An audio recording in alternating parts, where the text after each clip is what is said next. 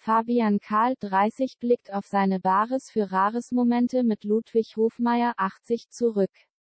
Der Kunsthändler und der Bayer standen mehrere Jahre gemeinsam für die Trödelshow vor der Kamera. Mitte 2020 wurde bekannt, dass letzterer dem Format heimlich den Rücken gekehrt hatte, unter anderem, weil ihm das Pendeln zwischen seiner Heimatstadt Offenburg und dem Aufzeichnungsort in Pulheim zu viel geworden war.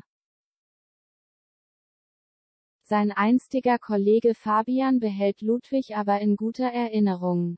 In der Web-Talk-Show verriet Fabian, dass er Ludwigs Show aus sehr bedauere. Ludwig war ein Urgestein von Bares für Rares. Das war so witzig mit ihm zu drehen. Er hat für sehr viel Heiterkeit und Humor am Set gesorgt.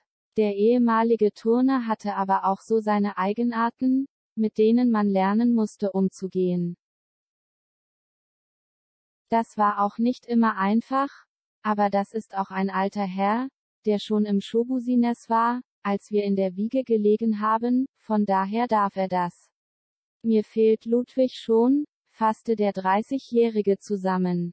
Er habe Bares für Rares mit aufgebaut und wesentlich zum Erfolg der Sendung beigetragen. Doch auch Fabian war eine Weile nicht mehr in dem ZDF-Format zu sehen.